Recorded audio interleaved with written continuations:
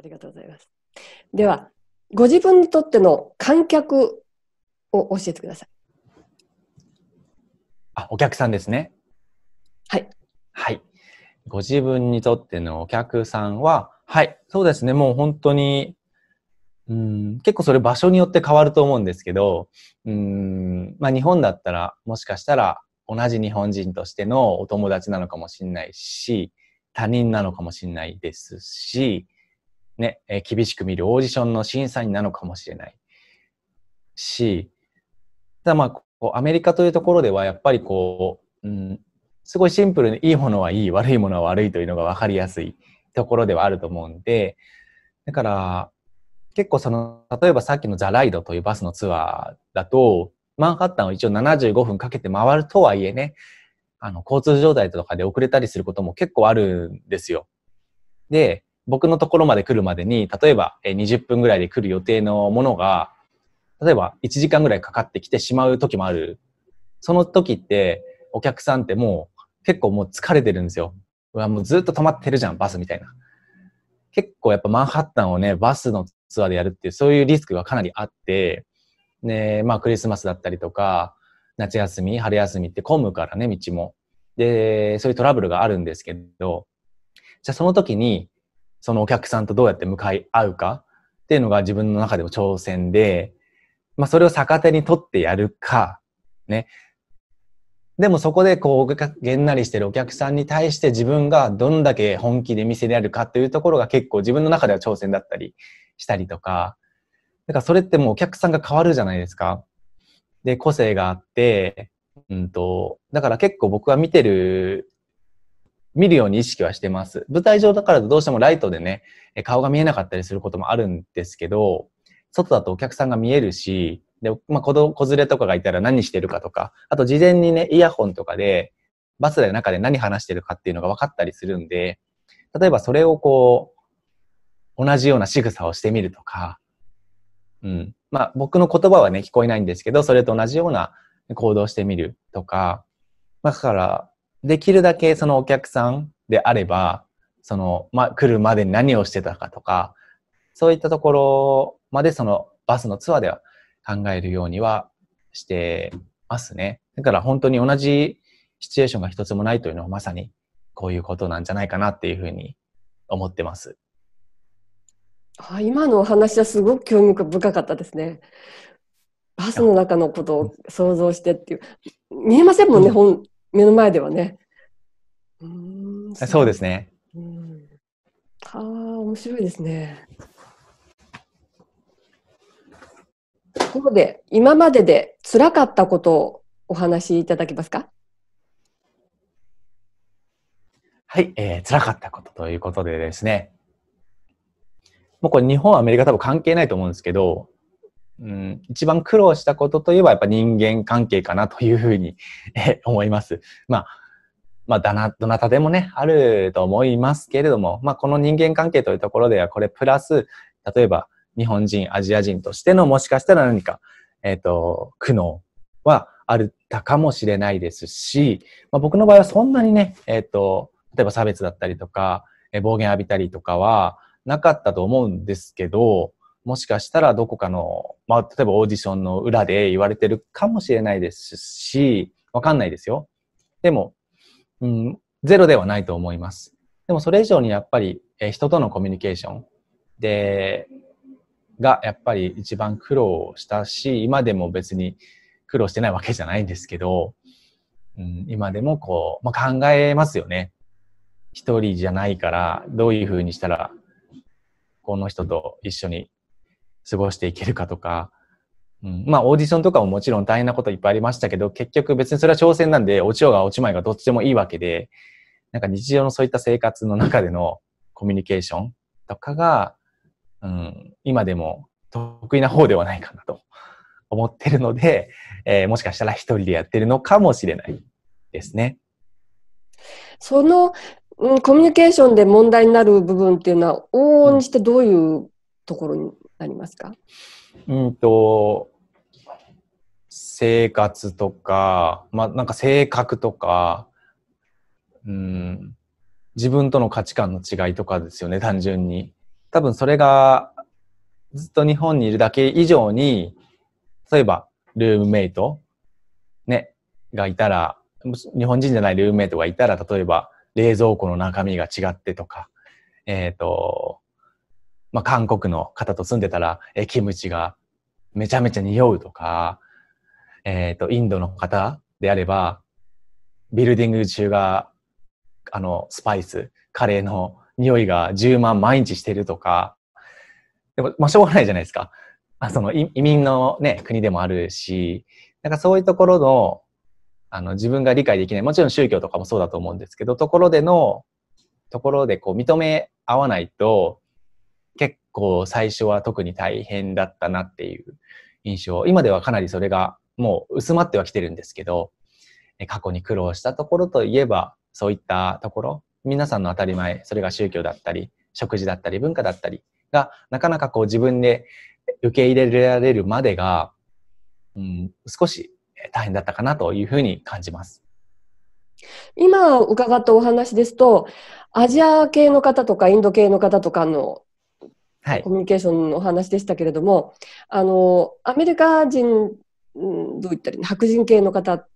はどうなんでしょう、うんうん、僕は結構、なんか、あの、密に関わらなければすごくいいような気がします。あの、例えばビジネスとかなってくると結構シビアだと思うんですよ。でも僕たちはやっぱパフォーマーなんで結構なんていうんですかね、関係性は別に浅くないんですけど、ああ結構いい意味で軽くて、よーとか言って、今日も会ったぜ。で、職場がね、同じだったりすると、着替える場所も一緒だっただったりするんで、なんかその、じゃあこのビジネスがなとかそういった結構話をあんましないんで、まあ僕あんま食べに行ったりはしないんですけど、えっ、ー、と、まあ飲みに行ったりね、えー、そういうことぐらいの関係性であればすごくラフでき、なんかはっきりしてて僕の場合は楽なんですよ。だからそれが例えば自分の生活になってくると多分、結構めんどくさいのかなっていうふうに思います。まあ白人ってわだけじゃないと思うんですけどね。うん。なんかお話を伺ってると結構オブラートにかぶせたようなお話だったので 具体的にはちょっと理解できなかったんですけど、はい、具体的に？例えばうん、例えばこんなことがあったみたいなことってお話できますか？よよろしかったらですけど。あ、人間関係でってことですよね。はい。はい、例えば、そうですね。なんか、僕はあんまりそれこそアメリカ人とかと別にあんまトラブルしたことないんですけど、まあ一番トラブルしたとしては日本人なのかなと思います。で、ニューヨークにいる日本人って、やっぱり、まあ、みんなそうだと思うんですよ。開国に出て、自分の夢を追っかけて、生き、来た、まあ最初は来たわけじゃないですか。何かの理由でね。もちろん結婚してきた人もいるかもしれないんですけどね、駐在さんとかと。でも基本的には僕ぐらいの年齢であれば何かしたいと思ってきた人たちがいる中で、うんまあ、どこかの時点でそれを忘れてしまった人たち。はい。僕もサラリーマンしてダンスを忘れてしまったように、えー、例えばこちらだったら結構ね、お仕事、アルバイトだけでもチップとかが、で、かなり稼げてたりするので、そこで、本来の目的を忘れてしまった人とかと、やっぱり一緒に話してたりすると、まあ友達なんで話したりすると、自分のモチベーションが下がったりし、下がっちゃったりするとか、あと本当にそっちでいいのかなというところとかを、うん、まあ、言えないじゃないですか、友達だから。でも、なんだろう、友達だから言いたいっていう部分もあったりでもそこでやっぱりこう自分の意見をぶつけちゃったりすると、相手も相手で苦しんでたりとかもちろんあると思うんですよ。だからそういうところで、うんと、悩みというか、うん、あんまり自分の意見を言えない。だからこそ僕は一人でやることが多いんですけど、一人でやった方が人に気使わないし、なんか変な優しさが僕結構会っちゃったりするんで、思いやっちゃったりするんですよね。お前これでいいのかとかね。でも別にそれ関係ないわけじゃないですか。基本的にはね。だからなんかそこの葛藤で、例えばいざこざがあったりとか、どうしてもこう、友達とか、この人にはなんかこう、気づいてほしいとかあるわけじゃないですか。人の親切とかが。だからそういうのが働いちゃうと、まあ余計なお世話になっちゃったりするっていうところとか。だからそういった意味で、うん、日本に、ニューヨークにいる自分と同じ国の人たちとの関わり方って結構、なんか、日本にいるより敏感に取り合わないと、変な噂もいっぱい回っちゃうし、もちろんいい噂も回るんですけど、そこでやってる、まあ、コミュニティがね、できなくなるっていうところでは、結構気使ってるところかなと思います。まあ、個性的な方もね、やっぱ多いんで、はい、アーティストは特にですけどね。うん。気使いますね。かえって自国というか自分の国の人とということですね。うん、うんあそうですね僕の場合は。うんでも私はあのコミュニケーションで問題はないですけどやっぱり日本人はちょっと避けてますねこっちでも私はドイツですけど。なるほどなるほど。いやでもはいあのすごくわかります。はい、私はいつでもモチベーション高いんですよ何をやるにしても。今ね、はい、この年齢でもね。だけど、うんうん、同じ年齢の人だと特にね、私避けるんですよ。まあ、同じ年齢の人はいないにしても、ちょっと下にしてもね。なんででしょうね。モチベーション高すぎて、話が面白くないんですよね。私の方が。なるほど。うん、まあそういう感じですけど。うんうんうん、あなるほどね。なんかすごい納得しました。はい、えー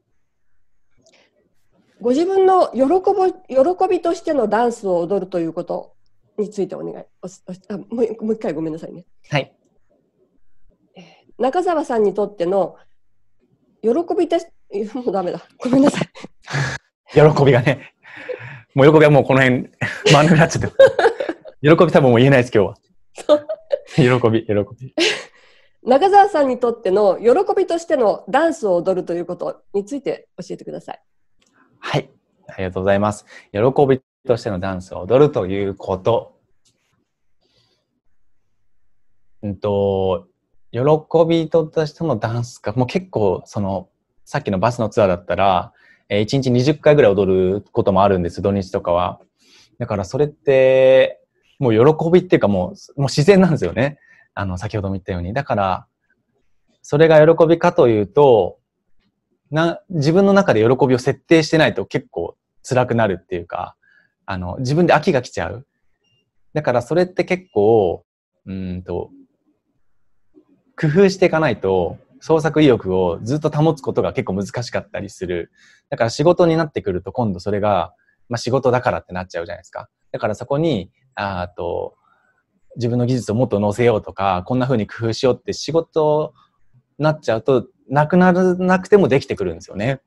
だからそこはこう意識して、例えばそれが喜びというところであれば、どういうふうに、えっと、まあいつも意識はしてますけど、どっかでやっぱ忘れちゃう。えっと、まあ今日もこの時間に行けば、とりあえず給料はもらえるというような感覚から、うん、えっと、仕事とその趣味、仕事、そしてさらにその上、自分のダンスだったり芸術を、まあ、高めていく。ずっと進化し続けられるような感覚っていうのを持ち続けるための喜びというところでは、どういうふうにしたらまた変わってお客さんがどう反応してくれるのか。だから結構それって練習できないんで、ある意味そのテスト的なものもしていかなきゃいけないんですよ。なんか、大体あのバスは50人乗れるんで、1回の50人のお客さんに対してテストしてる時もあります。こういうふうにしたらこういうふうに変わるかもしれないし、それがあ全然、全然、ツボに行かなかったっていうところもあるじゃないですか。でも、でもそのお客さんは1回しか乗れないし、こう僕を1回しか見ることができない人ももちろんほとんどなわけだから、その1回は全力を注ぎたい。だけどその反面、何か自分もこう試していかないと、うんと、自分がこう、回っていかないっていうか、だから結構この葛藤はある。なこっち行けばまあまあ間違いはないんですけど、でもなんかちょっとこっちの余計なとこもこう付け加えたいな。でもそれ加えるとちょっとこう、なんか面白くなくなる。まあ2分か3分にしてもね。っていうところの喜び。だからそれは自分でこう、ちょこっとその刺激を与えてあげるというところでの、まあ、喜びというか遊びみたいなのは、え入れるようにしてます。普段のまあ、ある意味ルーティンとなる仕事、ダンスの仕事に関しては。はい。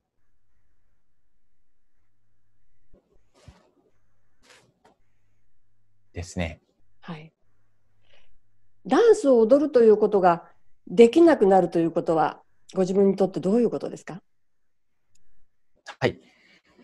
ダンスを踊ることができなくなることはないんですよね。はい。まあ、まずそれが結論なんですけど、えっと、